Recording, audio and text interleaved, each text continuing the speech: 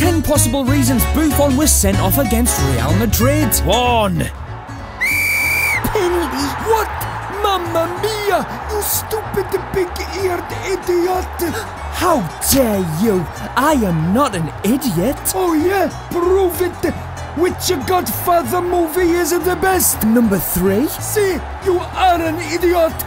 Off. 2. Penalty. What? Mamma mia! You are useless moron! Operation Get Real Madrid to the final has been compromised. 3. Penalty. What?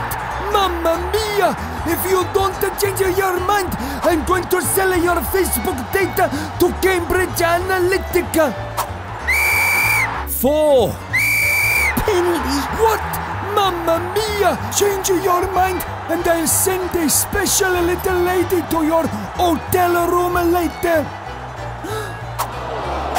This isn't 2006. 5. Penalty. What?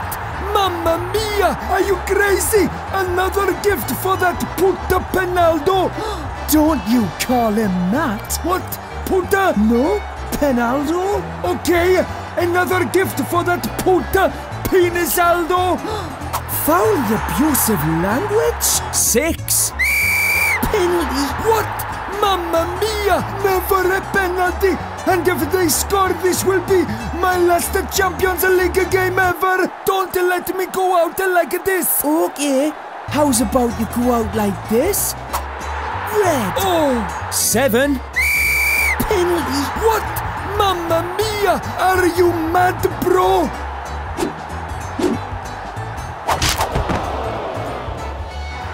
Oh, eight. 8.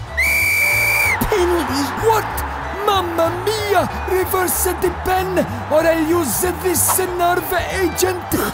Nerves? What nerves? 9. Penalty. What? You just cost us the game! Good? What do you mean, good? Ha! Serves you right for knocking out Super Spurs.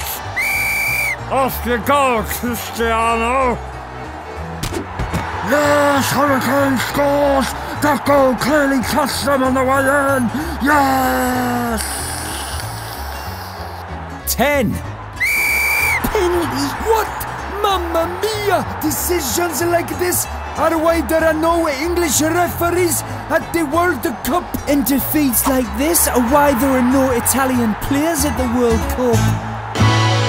What else could Buffon have said or done to Michael Oliver to get sent off? Add your ideas in the comments.